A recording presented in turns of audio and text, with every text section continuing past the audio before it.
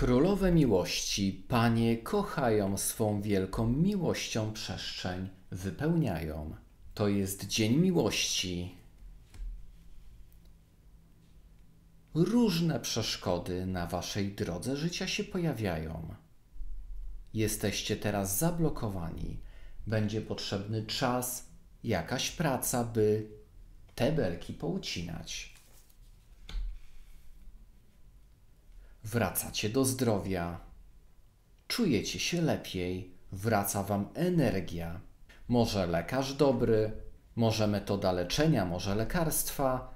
Nieważne. Ważne, że energia wam wraca, czujecie się lepiej. Ale wasze działania, wasze marzenia muszą jeszcze poczekać. Musicie wstrzymać się z działaniem i poczekać, aż więcej energii do was przyjdzie. Ona przyjdzie. Ogrom energii, wielka mądrość, mądrość w waszych przyszłych działaniach, harmonia, jedność z przyrodą. Szykujecie się do jakichś ważnych działań w waszym życiu.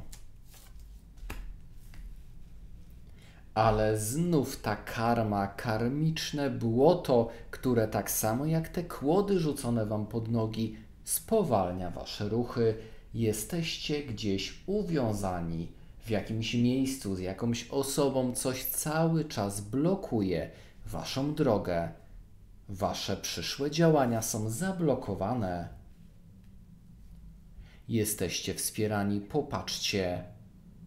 Czy to przyjaciele, czy rodzina, duchowa rodzina, jesteście zaopiekowani, wspierani, otulani pięknymi energiami, właśnie te energie wspierają Wasz powrót do zdrowia.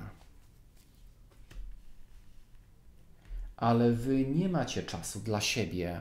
Dużo chaosu, dużo spraw na głowie.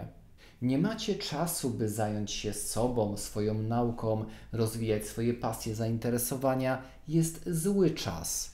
Nie macie natchnienia, by tworzyć.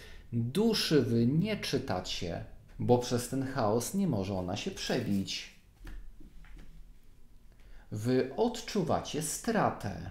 Szukacie rzeczy, których wam w życiu brak, a nie widzicie prawdziwych skarbów, które macie.